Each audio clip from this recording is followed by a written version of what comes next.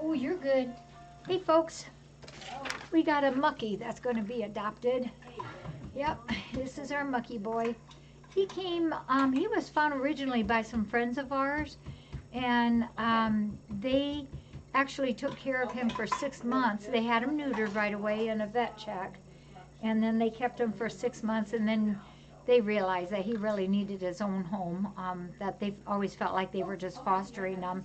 And uh, they had a cat in the house, I think they said, that didn't want any other cats around. So Muckie came here, and he's only been with us for 14 days because he came on Janu- on uh, February 1st. I know, I thought you was going to get antsy. And he came here at 12 pounds, 6 ounces. Oh, hang on a minute. Um, here. Here, Muckie, do you want this one? And today he weighed 12 pounds, 8 ounces, so he's gained two, two pounds. But he's, he's 12 and a half pound cat. He's a, he's a big boy. And his daddy's name is Jacob.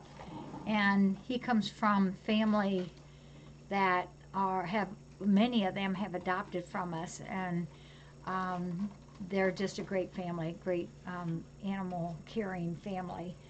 So uh, Muckie's going to go. He he lives where is he? Defiance. In Defiance. Defiance. And it's possible that uh, Jacob is going to keep Muckie's name as that. So that would be kind of cool too.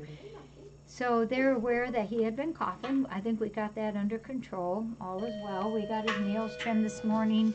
This is his picture when he came in, which looks a lot like what he does now because it's only been two weeks. Yeah, not yeah, not monkey, but Muckie. M U C K I E. That was a name a cat name, and uh, he's just been ever so wonderful. It's been a real joy having him. I like those big cats, and he has um, proved to be uh, such a great personality too. I saw him the other day. I came around the corner um, when I came in this area, and he was over there by Patty's place playing with um, with uh, Tux, and they were rolling around and just playing and having a good old time. He's been just a real gentleman here. We just have really enjoyed him. So he's on his way, and uh, if there's any anything that Jacob needs for him, our vet will be here two weeks from tomorrow and can bring him in. All right, where did our boy go? Right over here. He's right there. And you remember Peaches that Keith had, wait, Peaches, we lost two years ago? She was twenty. Twenty. Twenty, twenty, Was that the first one you adopted from us? yes.